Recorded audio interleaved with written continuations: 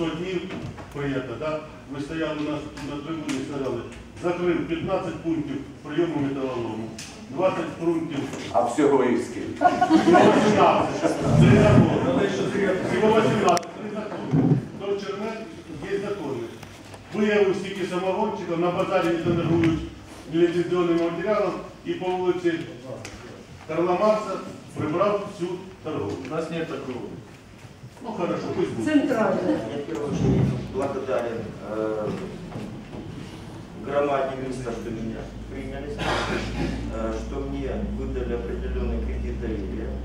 Э, я надеюсь э, на конструктивную работу, что я объясняю, меня слышат, вы мне задаете вопросы и показываете то направление, куда мне надо бежать, что мне нужно Соответственно, надеюсь на помощь депутатов, потому что будем принимать, будем просить о программах, о их финансировании, что будет только сприять борьбе как с уличной торговлей, так и с преступностью в целом.